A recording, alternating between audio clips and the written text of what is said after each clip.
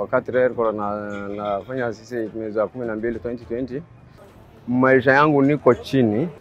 Baada ya miezi sita nilifunzwa kwa hiyo kazi, nimefanya bidii, wamepata msaidizi, nilifungua hii biashara.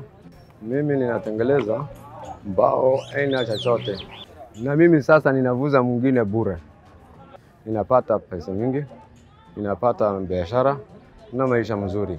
Hata wale wadogo hawajafanya bidii na wazao ni mzuri, kwa sababu napata pesa kwa daily, naenda kufanya kazi yao, si kama mbeleni ambao ukaa baranda ama waende kulala ama ukwe tanga tanga. Maisha ni mzuri na mabadilisha mzuri sana. Sasa ni kumwambia kweli, mbeleni na sahii si mbe mmoja. Sasa nataka kuwa nini rich, kwa sababu nimepata biashara wajakata Mimi naanza hii kazi sina senti sahi, lakini kienda kwa Equity naweza pata kitu ndani. Kila duka mimi naweza ingia tupa kitu, nimebadilisha mzuri na nimepata bibia mbili.